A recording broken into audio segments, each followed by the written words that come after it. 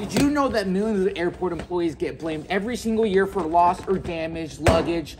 Well, I'm gonna show you how to break into a luggage with just a simple ballpoint pen, okay?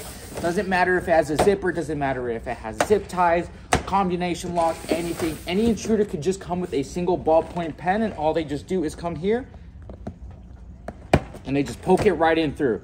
Okay, nothing else, nothing fancy, nothing with scissor or anything, just with a simple ballpoint pen, they stab you right through and you just go left, and then you just want to go right. All right. Like I said, it doesn't matter with scissors, zip ties, locks, anything. It's not going to keep it safe. Okay. So this year, when you're traveling to go to see your family over the summer, over Easter, over any type of season, really just ask yourself,